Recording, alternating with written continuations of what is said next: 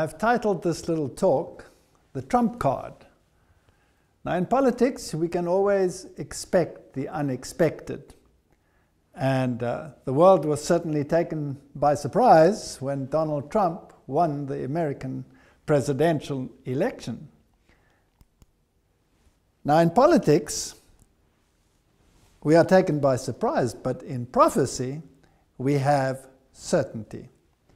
And when we look at the prophetic picture of the book of Revelation, then we can see that there is a plan and there is a movement in a particular direction. And even though it looks confusing out there and sometimes doesn't work according to our expectations, the plan will be fulfilled according to the prophetic picture. In Revelation, we read that the second beast will form an image to the first beast.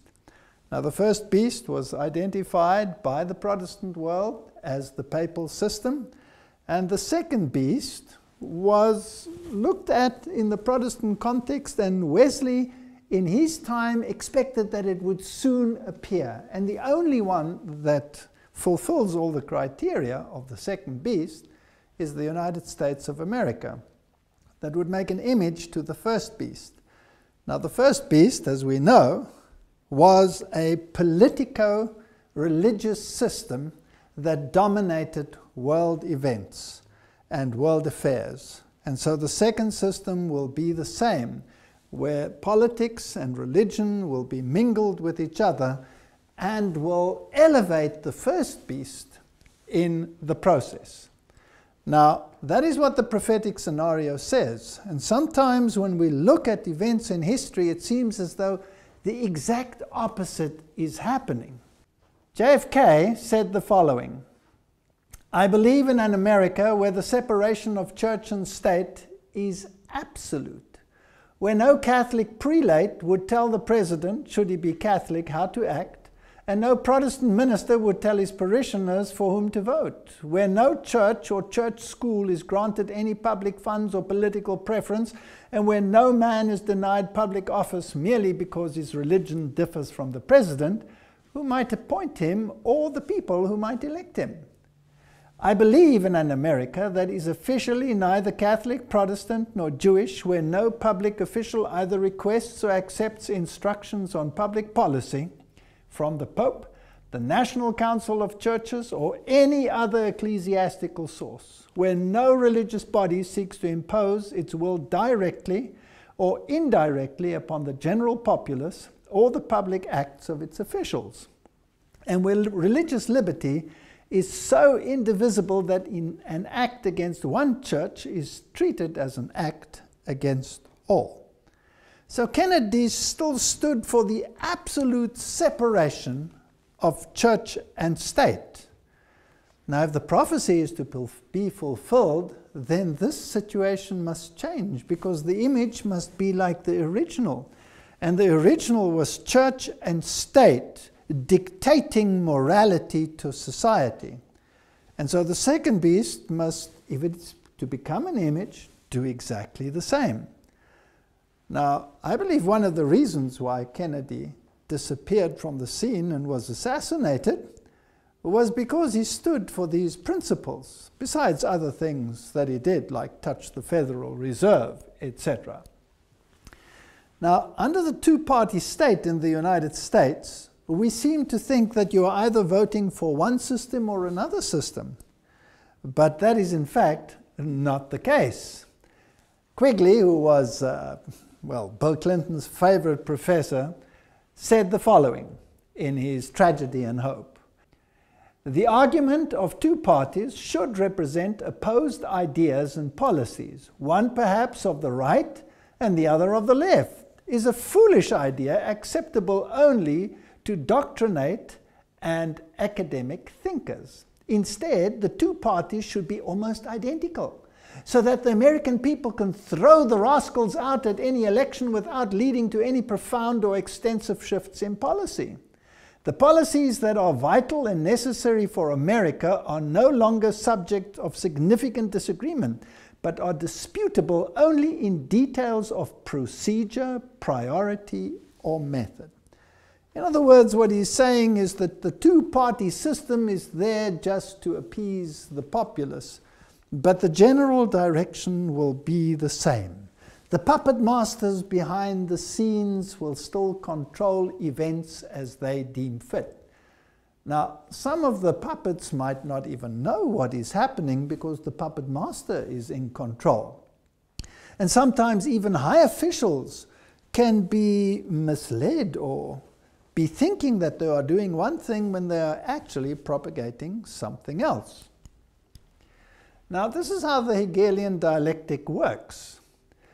If we have a look at a definition, it says it's a framework for guiding thoughts and actions into conflicts that lead to synthetic solutions which can only be introduced once those being manipulated take a side that will advance the predetermined agenda. Hmm. So there's controlled opposition, problem, reaction, solution. Now, this has been used for millennia in the political sphere. You create the crisis to induce the change, to bring about the direction that you really want everyone to go but you have to swing the general mindset in a particular direction in order to get there. Now, let's assume you want a particular religious agenda to be instituted, and you know that secular society will not fall for that idea. Then you can bring in this dialectic and bring in an opposing view, bring in an opposite view which becomes totally unacceptable to the general populace, forcing them in a direction where they will eventually embrace that which you wanted all along, but had they remained middle of the road, they would never have accepted such a solution. So, this is a, a method of mind control, mass mind control. Now, when we look at the Obama legacy, then this becomes apparent. He's the one who said Trump is unfit to serve as president. And Donald Trump was using all the failures of the past administration to highlight his points. I mean, if you look at the entire world, it's in chaos. Refugees are streaming in all over, bombs are exploding, ISIS is out of control, and all of these issues play on the minds of people and is herding them in a particular direction where they want to ensconce themselves and protect themselves from these waves of evil that are rolling in upon society, and then perhaps doing exactly that which prophecy said they would do, which they would not normally have done had the circumstances been different. So, what is the legacy of Obama and Hillary Clinton? Well, it is a liberal agenda. We have seen so many changes in society and so many laws being brought in where, well, a Christian morality seems to be decimated, nothing left of it so that those that have a Christian ethic would want to scream out and say, We have to change this world. It can no longer carry on like this. And this is exactly what you do. You swing the pendulum to absolute liberalism in every sphere, and then you let it go and let it swing to the other side so that you can get exactly what you want and what prophecy predicts. Obama is the one who said the future must not belong to those who slander the Prophet of Islam. Now, if you look at the web pages, there's so much conjecture as to the, whether the man was perhaps a clandestine Muslim. And there are pictures of his ring, which tends to be Islamic, and there are pictures of of him in uh, Islamic dress and many, many statements to this effect. And if you look at the administration, many high officials are of the Muslim faith. So it seems as if America was being taken away from its Christian roots and swung in another direction. But prophecy said that the second beast, the United States of America, would implement legislation that would further the first beast, which is Catholicism. And therefore, it must be a Christian nation bringing about Christian legislation. And here you had Obama taking the mindset in a totally opposite direction. This is a brilliant Hegelian dialectic, whether he was, uh, whether he knew about what he was doing, whether he did it consciously, or whether he did it subconsciously is irrelevant. The fact of the matter is, this is what has happened. I believe, of course, that the insider elite is pretty clued up as to what the agenda is, but nevertheless, one can leave open the option that they might have done it unknowingly. But this was the legacy. And now, with the Trump administration, we are going to probably see the pendulum swing. Catholic Herald Obama calls for world leaders to heed Pope Francis's message. The President of the United States said he wants fellow world leaders to reflect on Pope Francis' encyclical talking about the environment. So you have this, you have this dichotomy of thought. On the one hand, you have this movement towards a totally different religious system, and on the other hand, you have this underpinning of the papal system.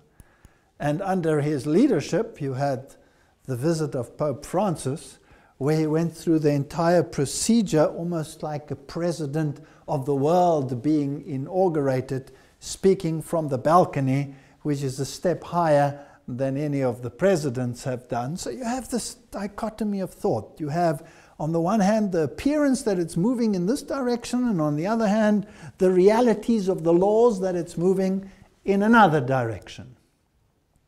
And then you had the two opponents. You had the one standing for the principles of the right, the other one standing for the principles on the left, and it was a vicious campaign. Now, is this a dialectic, a Hegelian dialectic? Is this a game of good cop, bad cop, or two ideologies which are to undergo pendulum swing? Well, let's have a look at some of the facts without judging any of the individuals and see whether we can come up with some form of conclusion. Here we have the famous supper, the so called charity supper that takes place just before uh, the election, where you have the Archbishop of New York, who always is the head of the Knights of Malta, in America, where he has this meal with uh, the candidates that are to be elected for president. And you can see the jovial nature. This is church and state at its best. And the two of them smiling next to Cardinal Dolan. Now it's interesting when you look at the, the actions of these individuals, you also get this idea of this dialectic. I mean, if you take the Cardinal, for example, the papacy will make one statement, a very conservative statement, let's say with regard to uh, whatever, lifestyle choices or contraception, the papacy will make one, one statement, and the people who are supposed to live it out will do exactly the opposite. So you're confused. You're thinking, why are the Jesuits and the Knights of Malta doing the exact opposite of what the papacy has just proclaimed? Why do you have this dichotomy of thought? Well, you see, in this thinking, there's this yin yang aspect. The white aspect and the black aspect, well, they augment each other. The one cannot exist without the other, so they say, in this yin yang philosophy. So even within the ranks of the church, you have this dichotomy of thought. Now, the two candidates, as we will see, fit the bill in every single aspect. If you go to the web pages and you look at the bloodlines of the American presidents, then it is a known fact that all the presidents that have well, reigned in the United States have all been related. So let's have a look at what the media has to say. If all presidents are related, which of the 2017 candidates will be the next president? As it turns out, both Trump and Hillary Clinton are related to John of Gaunt, a 14th century royal. Gaunt was the first Duke of Lancaster, was the son of King Edward III. According to MyHeritage. Trump is related through his mother, Mary Ann MacLeod, back to his 17th grandfather, John Beaufort, while Clinton is related through her father and the Rodham family back to the 17th great grandmother, Joan Beaufort. The two candidates are 19th cousins, and so they both have the right bloodlines to continue this lineage. Now, that's another story as to why they should all be related, and it's fascinating that the Bible doesn't speak about the presidents of the world, it speaks about the kings of the world. And uh, it really, over the course of history, hasn't mattered which of the candidates has won, because the candidates have always both been in the same bloodlines. Uh, here are the American uh, presidential bloodlines. Here's another page that explains this. Did you know all 44 US presidents have carried European royal bloodlines into office? 34 have been genetic descendants of just one person, Charlemagne, the brutal 8th century king of the Franks. Now, that's a fascinating story because Charlemagne is, of course, the one who was crowned emperor of the Roman Empire, the new Roman Empire, and the Pope was crowning him whilst his kingdom was falling apart. So he's a symbol of this unity of the world under one leadership, the papacy. And then if we go to Edward III of England, in fact, the presidential candidates with the most royal genes has won every single American election. Now, it seems as if Trump and Hillary had exactly the same uh, lineage, so it didn't really matter which one of the two won. This information comes from Burke's Peerage, which is the Bible of aristocratic genealogy based in London. Every presidential election in America since and including George Washington in 1789 to Bill Clinton has been won by the candidate with the most British and French royal genes. Of the 42 presidents, to Clinton, 33 have been related to two people Alfred the Great, King of England, and Charlemagne, the most famous monarch of France. So it goes on. 19 of them are related to England's Edward III and has 2,000 blood connections to Prince Charles. The same goes with the banking families in America. George Bush and Barbara Bush are from the same bloodline, the Pierce bloodline, which changed its name from Percy when it crossed the Atlantic. Percy is one of the aristocratic families of Britain to this day. They were involved in the gunpowder plot to blow up Parliament at the time of Guy Fawkes. Now that's even more fascinating because that was a Jesuit plot to overthrow the Protestant government in the United States. So if all these bloodlines belong to these individuals that uh, overthrew Protestantism, well, that would be an interesting plot for the puppet masters to work on behind the scenes. But we're just looking at the facts, so let's continue.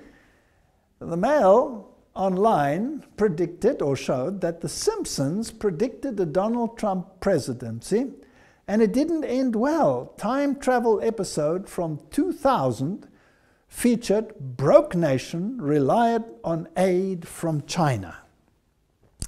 Now, as we have seen in some of the previous series that we have made, The Simpsons consist, well, the writers of The Simpsons are all probably insider individuals with uh, more knowledge about what is going to happen in the world than most would uh, deem possible. And uh, as some candidates have said in the past, if uh, something works out the way that it has worked out, it works out that way because it was planned that way. So there is that element, but there is also, of course, an element of, of luck maybe involved as well. Now, the Simpsons generally use many, many uh, esoteric symbols in their productions, and uh, they have been extremely accurate on a number of issues and have predicted many, many things that seemed unlikely or impossible years in advance. 9 11 being a case in point, the destructive events in the United States, and in their particular little uh, issues, 16 years before this presidential election, they showed their character in the same dress as Hillary Clinton would be wearing, including the necklace, including the earrings, and that's rather fascinating. It's interesting that uh, she actually wins the next election, but according to their scenario, Donald Trump would win the current election. So that's rather fascinating, and some of the statements and the ideologies that were contrasted there are, well, very strange to say the least. Uh, this comes from the year 2000, and they show Trump in his red tie and his jacket between the flags, and this happened in reality. So they're, they're pretty accurate. But it gets even more bizarre because they show that Trump, that's in 2000, greeting the people in Trump Towers, going down the escalator, raising his hand, and again he has the red tie and the suit on. And reality, 2015, Trump greeting the crowds, going down the escalator of Trump Towers. I mean, it's pretty accurate. It's pretty sharp. Now, whether this is pure coincidence or whether it is not is actually irrelevant. Some of the more bizarre ones, rather interesting, are the maps that we will see in a moment. And you can see their character here saying, oh no, it's actually come true. And this is the map that has been going around where they show what the, you know, the distribution of the votes would be, but this is actually not quite accurate because this one was actually one that they used in the Romney campaign, so it doesn't apply to that previous one. But nevertheless, it's interesting that they show these uh, red demographics. And of course, this picture has changed in the present one. So you can not really use this one. Now let's have a look at some other facts, because what we are interested in is prophecy and not the games and the dialectics that are being played in this world. The National Catholic Reporter tells us that Mike Pence, who is going to be the Vice President of the United States, which is a very, very powerful figure, is a born again evangelical Catholic. And uh, the web pages in the world tell us this very thing.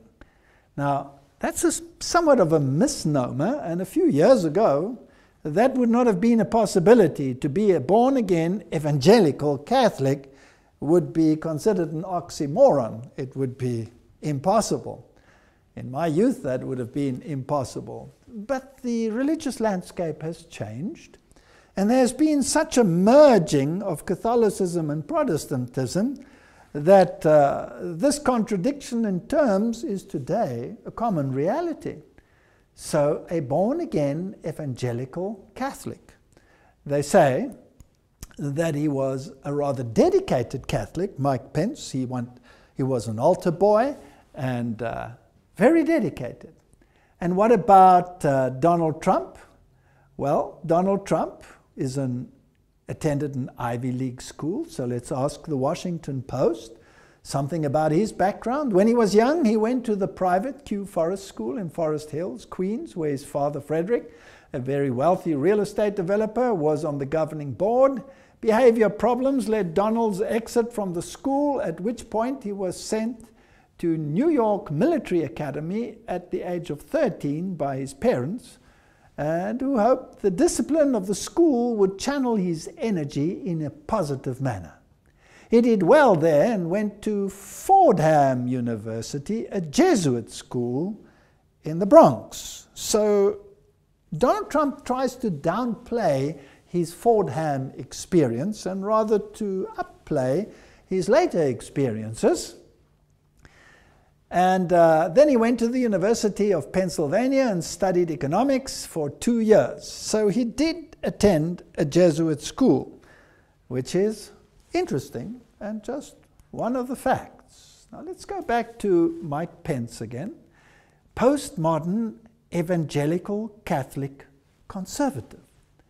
But Pence is also very much a creation of the last half century of America American political religious life. Born and raised Catholic, he became a Catholic youth minister and reportedly wanted to be a priest.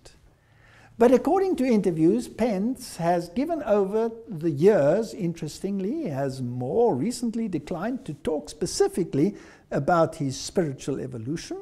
While in college from 1978 to 81, he began blending his Catholicism with evangelical Protestantism.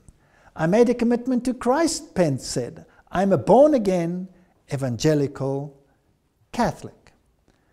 So here we have a Catholic vice president who is in a position to reach out to evangelicals. Now it's fascinating that the other side, of course, had chosen Tim Kaine as their uh, vice president. And the two met in debate, and apparently Mike Pence was the stronger candidate in that debate, or so they say. But nevertheless, would have made any difference because both of these are Catholic gentlemen. And let's have a look what the Harvard Divinity School tells us about Tim Kaine and Mike Pence and faith it says that Kaine was educated at a Jesuit high school and has been influenced throughout his life by Jesuits. Often seen as progressive and open minded in the US, he's also been called a Pope Francis Catholic. What does it mean to be a liberal Catholic reformer? Now, this is rather fascinating. So you have these high profile Catholics as vice presidents, uh, the one wanting to be a priest and was an altar boy, and the other one, all his training in Jesuit environments. Now it's interesting that uh, the Jesuits themselves say, or Ignatius Loyola said, that if uh, you have to choose sides, then a Jesuit can choose one side and represent it to the point of death, while a fellow Jesuit may choose the opposite side and uh, defend that to the point of death. That is the Hegelian dialectic. And it's fascinating how it works. So it really wouldn't have mattered which one of these two would have become the vice president. And it really wouldn't have mattered which one of these two would have become president. Now, before I even talked about this, I, I thought that Hillary Clinton would probably fit the modern profile somewhat better, but I also said it doesn't matter which one of them wins. But now, on reflection, it becomes rather interesting that it went the way it went. Now, in the discussion here with these people from Harvard, uh, Donald Trump's running mate, Governor Mike Pence, described himself as a born again evangelical Catholic is this an unusual faith mix? And what does this combination say about his public service? And the answer? I'm not quite sure what Governor Pence intends to affirm by a born again evangelical Catholic. He comes from an Irish Catholic background, was raised as such during college, Indiana Hanover College. He had an evangelical religious experience under the influence of a non denominational group. However, in the following years, he still considered himself a Catholic, went to Mass, worked as a youth minister at a Catholic church, and even thought of becoming a priest. However, in the mid 1990s, he joined the Grace Evangelical Church, which is affiliated with the Evangelical Free Church in America. One could describe it as a Baptist denomination. It was, however, the church to which he started to take his family in Indianapolis. At that time, he described himself as a Christian, conservative, Republican, in that order. In this description, the word Catholic was not present. So, when we look at these two, they are both capable of fulfilling the prophetic agenda. Pope Francis calls for unity between evangelicals, Catholics, and he said that division is the work of the devil. So they had to be brought together. So Pence is actually the perfect one because he is both Catholic and evangelical and can bring them together. Pope Francis has called for unity amongst evangelicals, Catholics, and Christians from other denominations, emphasizing that we are one in Christ and warning that division between the groups is the work of the devil. It is the division is the work of the father of lies, the father of discord, who does everything possible to keep us divided. Francis said in a video message to a gathering sponsored by the John 17 movement. Now, the John 17 movement was a movement to gather all the evangelicals under one umbrella under the papacy or together with the papacy. Charisma News gives a very interesting insight. It tells us that Kenneth Copeland laid hands on Donald Trump and prayed over him. This is fascinating. Well, Charisma News is a very prominent journal. Earlier this month, we reported how Paula White set up an invitation only meeting between the Republican presidential candidate Donald Trump and evangelical pastors. That meeting happened this week, and plenty of Pentecostals were there to lay hands on the billionaire, make declarations of his life, and pray. Beyond Paula White, also present were Kenneth and Gloria Copeland, and then another whole host of very prominent evangelical leaders. Where is this heading towards? Are we heading towards a union of church and state? Now, what is Donald Trump? Well, let's have a look. Religious News Services says, Is Donald Trump now a born again Christian?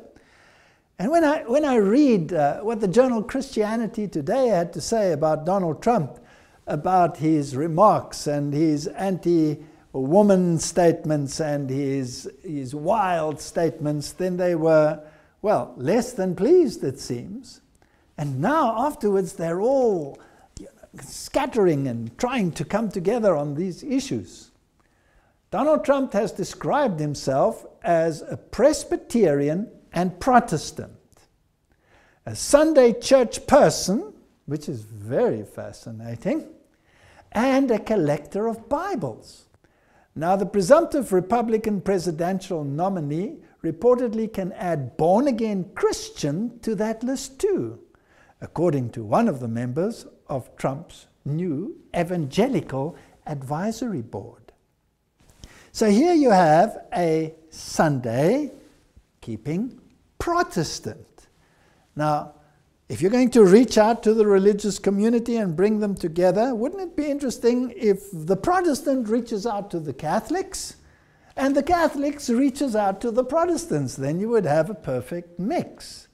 But uh, I found this rather interesting and an interesting mix because by some of his statements, it is uh, hard to imagine that all of this is, you know, perfect truth. Now, this was the statement that Donald Trump made to the Catholic world. Catholics are an important part of the American story. America has been strengthened by hardworking Catholics. From New York to California, the Catholic story is truly unique, and it's a great story. From marching for civil rights to educating millions of children, serving the poor, and helping define the pro life movement, Clergy and lay Catholics across the country have made countless contributions to the American success and the American success story. Washington politicians have been hostile to the church. They have been hostile to Catholics. They have been hostile to the members of Catholicism. My administration will stand side by side with the American Catholics to promote the values we all share as Christians and Americans. God bless you. God bless the United States of America. We will make America great again. So there you have Donald Trump reaching out to the Catholic community. A Protestant, born again Protestant. On the other hand, you have Mike Pence, who said, I'm a Christian, conservative, and Republican in that order, and left out the little fact that he was thoroughly Catholic. Let's listen to what he had to say. Greetings, I'm Governor Mike Pence. You know, it's my honor this year to serve as the Republican nominee for Vice President of the United States with my running mate, Donald Trump. I'm grateful to be able to join you, if only by videotape, but I'm not sure how they introduce me. The introduction I prefer is pretty short. I'm a Christian, a conservative, and a Republican in that order. And really, it's as a fellow believer uh, that I'm particularly honored to be able to address you today. I know every one of us has our own story about how we came to faith. For me, I was raised in a family where faith was important church on Sunday, grace before dinner. But my faith became my own when I made a personal decision to trust Jesus Christ during the spring of my freshman year in college. That night, my heart was literally broken wide with gratitude and with joy when I came to realize that what happened on the cross, in some small measure, actually happened for me. And I know all of you in the room share that same passion and that same sense of gratitude for what was done on our behalf. Years later, my faith has been tested, relied on more times than I could possibly count. All I know for sure today is I need Him more than ever. And He's really the center of my life and the center of my family's life. You know, God's love really eclipses our failings, and as always, He's been a source of renewal and strengthening for this nation and for people of faith throughout our history.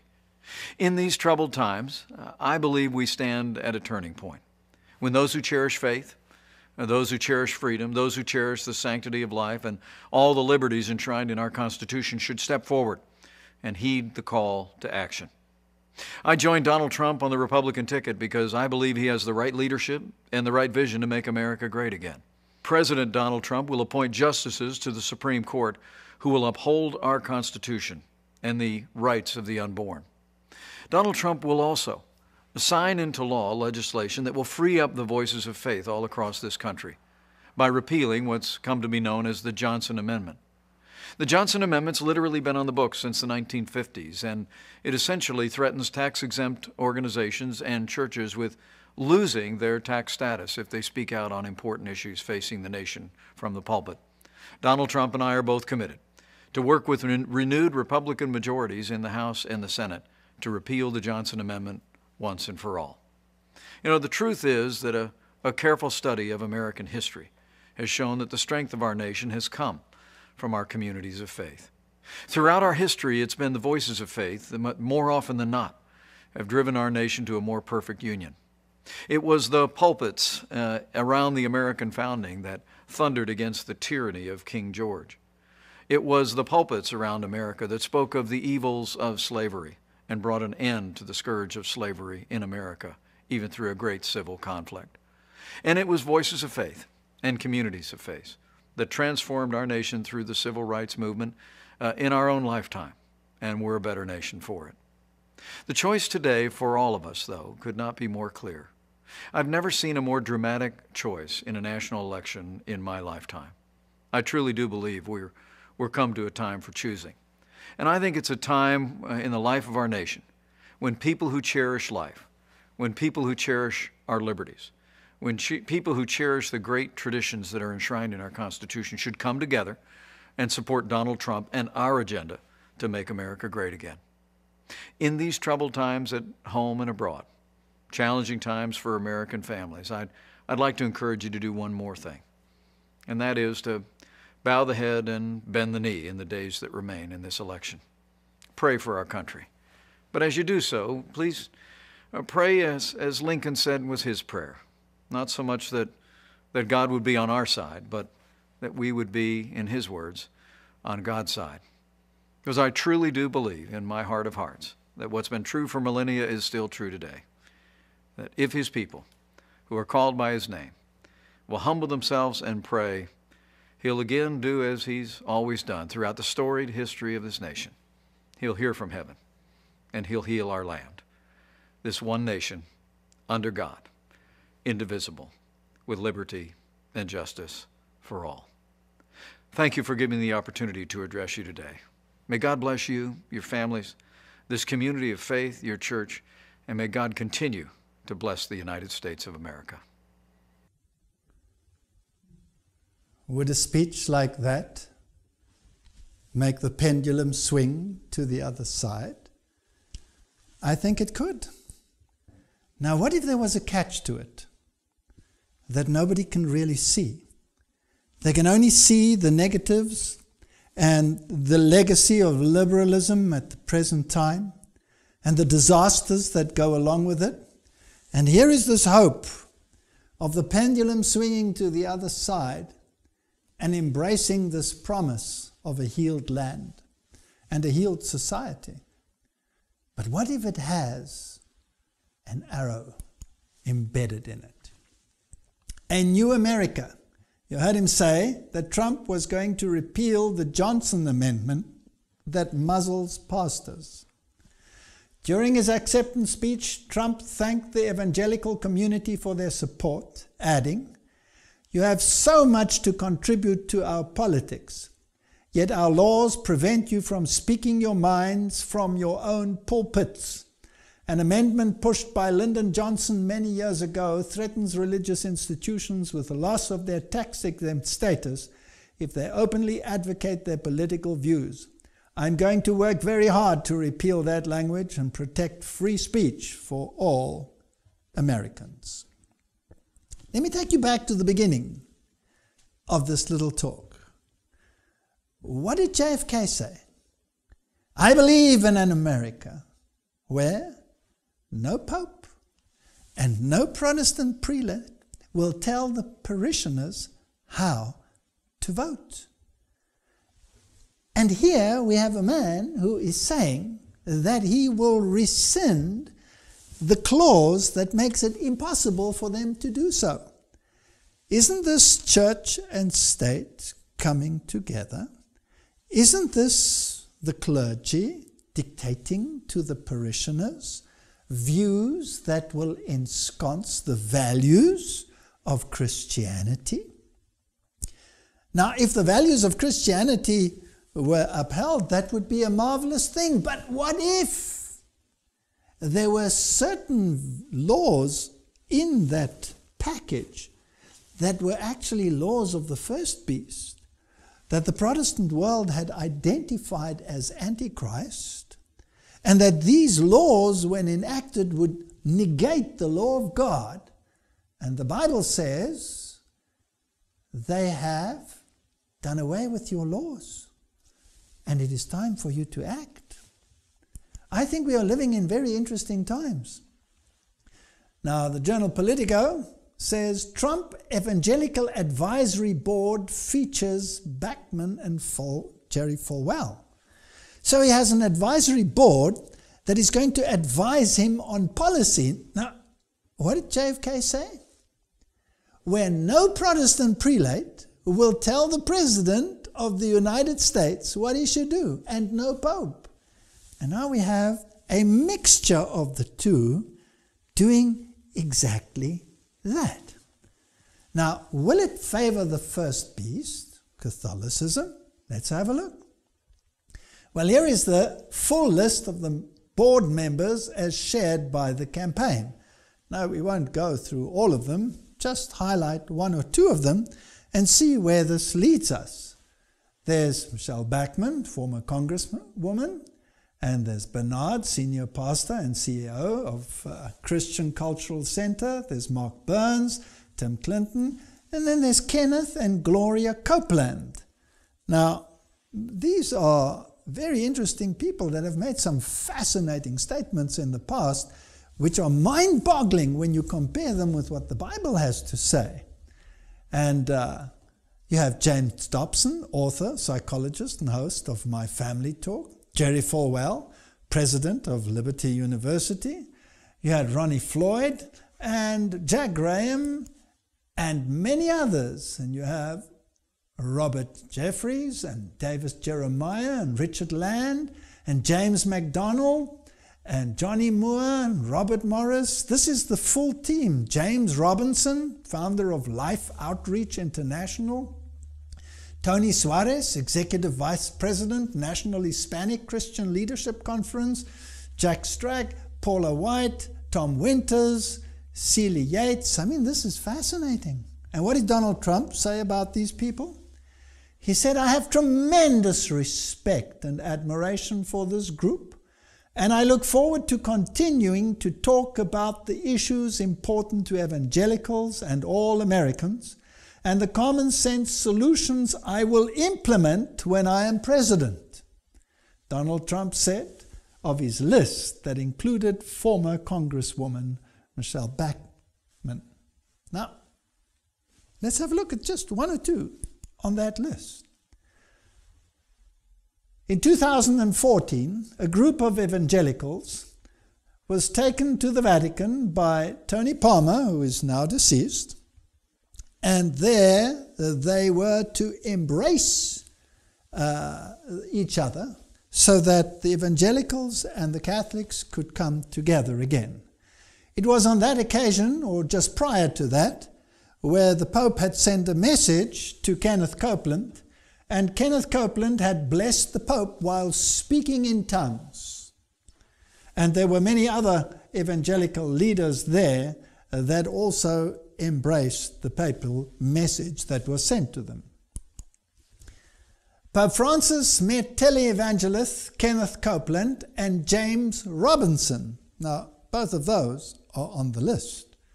So this is rather fascinating. These people went to Rome to discuss the reunification, and this event is going to be very prominent and public in the year 2017 when the Lutheran world celebrates its 500th centennial of the Protestant Reformation. So these are the issues of the day. The Christian Post says megachurch pastor Jack Graham ready to champion Donald Trump after meeting with 900 evangelicals. Now, he's also one of those that went to the Pope. Former Southern Baptist Convention president and megachurch pastor Jack Graham says that he is ready to champion Donald Trump after attending the meeting between the presumptive Republican nominee and over 900 evangelical pastors and activists in New York City on Tuesday. These people are, on the one hand, now the advisors to the president and to bring about this change, this making America great again. And on the other hand, they are the ones who are negotiating with the papacy for reunification. In fact, that is exactly what Donald Trump vowed to do. Donald Trump vowed to close the gap between church and state, according to Time. And it states that the GOP presidential nominee has tripled down with one base of political support that has steadfastly remained with him white evangelical voters by promising to dismantle the laws that separate church and state in America. Now it's fascinating what he said on the issue. And if you look what happened to religion, if you look at what's happening to Christianity, and you look at the number of people going to the churches, and the evangelicals know this also, it's not on this kind of climb, it's on this kind of a climb of slow and steady in the wrong direction, Trump said. A lot of it has to do with the fact that you've been silenced You've been silenced like a child has been silenced. You have a chance to do something that will be earth shaking, he said. I literally mean it earth shaking. You've got to get your people out to vote. Now, if this is what Donald Trump promised, then he is promising precisely what the Bible said would happen an earth shaking event that will induce God to intervene in human affairs. It's interesting that both Donald Trump and Pence said that they cherished the Sunday because that was part of their heritage and that is what they remember of their childhood. Now, the Lord's Day Alliance and the Boston Globe said the following The Lord's Day Alliance, founded by six major Protestant denominations in 1888, I find these dates so fascinating. Spent a century fighting to force industrialists to give workers time to attend religious services and later to protect the blue laws. Those are the ones that bring in Sunday legislation. But little by little, drinking, sporting, shopping became permissible on Sundays. In the last 20 or so years, the group has shifted to advocating to an internal recognition of the Sabbath. The point is, where can a stressed out society find regeneration and renewal? Said Reverend Rodney Peterson, executive director of the group, who drew dozens of people to an interfaith conference on Sabbath observance last week at the Old South Church in Copley Square. So this was reported in the Boston Globe on November the 2nd, 2016. This is an evangelical agenda to bring Sunday back into the mainstream again. And here we have candidates, I believe, that are in a position and have the power base to do it. Because for the first time, Republicans control both houses. This is one of the most powerful presidents that the United States has ever had. And if ever there was an opportunity to bring about the prophetic scenario, it is now. I'm not saying it will happen, I'm saying it is possible for it to happen. Revelation 13, verse 15 says, And he had power to give life unto the image of the beast, and that the image of the beast should both speak and cause that many as would not worship the image of the beast should be killed. Is this the time in which this prophecy will be fulfilled? Only time will tell.